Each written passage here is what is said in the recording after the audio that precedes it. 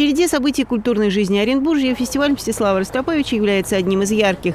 На протяжении четырех лет организаторы ставят перед собой задачу приобщения публики к классике. Главная цель любого фестиваля, особенно международного, чтобы, да, чтобы появлялись, чтобы были ростки здесь, на, в месте проведения, чтобы появлялись новые исполнители, чтобы э, привлекать новых зрителей. В этом году фестиваль посвящен 90-летию со дня рождения народной артистки СССР Галины Вишневской.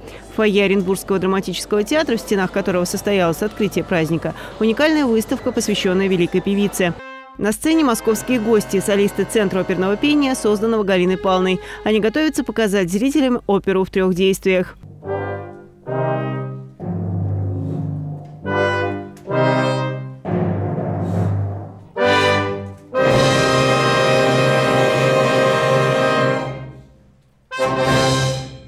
Джузеппе Верди, Ригалетта. В главной роли молодой солист Александр Алиев. Для артиста нынешний фестиваль не первый. На этот раз он предстал перед оренбуржцами в очень сложном для себя образе. Это ну, трудно и э, с музыкальной точки зрения сложный спектакль музыка Верди, и по, драм, по драматургии, драматический тоже сложный спектакль. Мы стараемся, работаем с нашими педагогами над тем, чтобы сохранить, э, так сказать, возможность исполнять эту роль и не навредить своему голосу.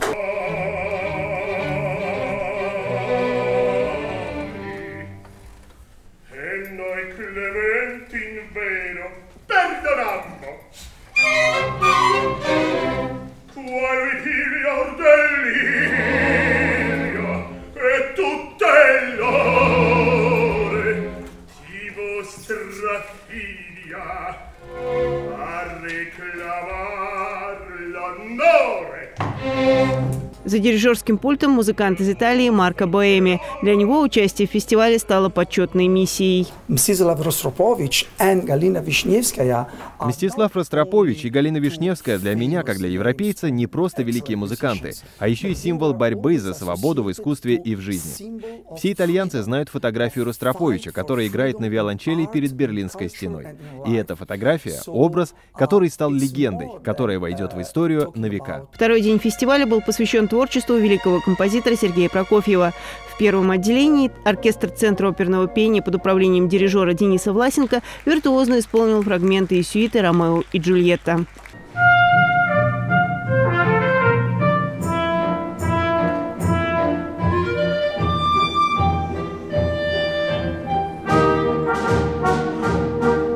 Я был три года назад на первом фестивале Ростроповича, и в этом для меня это не дебют, но я всегда рад возвращаться сюда. И замечательная здесь публика, замечательный зал с акустикой, что большая редкость для филармонии нашей. Поэтому я очень рад, что я снова здесь. Настоящей звездой вечера стал юный пианист Давид Хрикули. Он в Оренбурге впервые. В репертуаре музыканта сложные произведения и далеко идущие планы. На меня очень большое впечатление произвел Святослав Рихтер.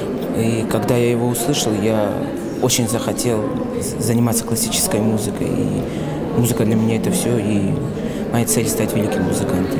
Самый любимый композитор самого Мстислава Ростроповича, Прокофьев, и на него очень большое влияние он производил. И поэтому сегодня я решил исполнить седьмую сонату Прокофьева.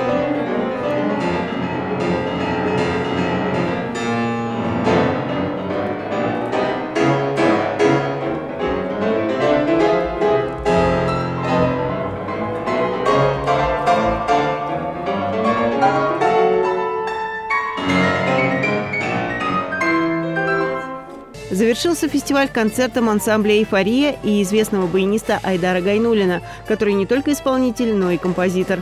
Айдар – автор музыки к отечественным кинофильмам. Артист рассказал, как однажды ему удалось поразить самого Мстислава Ростроповича, который и открыл ему путь на большую сцену. Я благодарен судьбе, что она свела с такой легендарной личностью, с великим маэстро.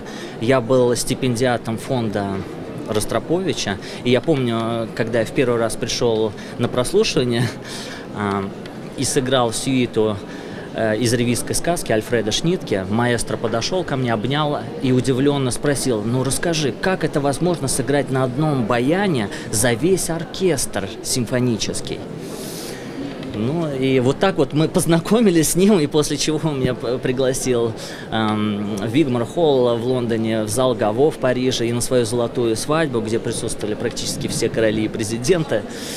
То есть э, у нас такая довольно уникальная встреча произошла. И, конечно же, я сегодня особенно рад участвовать на столь грандиозном фестивале. Вечер под названием «Танго Дамор» стал романтическим путешествием в мир кино.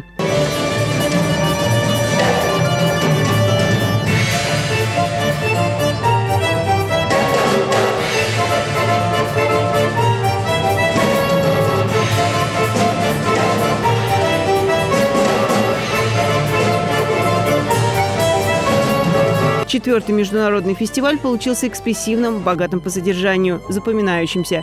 И в этом большая заслуга организаторов и идейного вдохновителя, художественного руководителя фестиваля Ольги Ростропович. Это все продолжение дела Ростроповича. Я считаю, что Ольга э, выдающаяся дочь. Она нашла себя, на наш взгляд, и я ей об этом всегда говорю, когда она приезжает. Она великая дочь своих родителей, она делает великое дело, она пропагандирует и их творчество, не позволяет забыть. В 2017-м фестиваль Мстислава Ростроповича отметит свой первый юбилей. Поклонников музыки ожидают незабываемые встречи, и, конечно же, в Оренбурге вновь будет царить Ее Величество классика.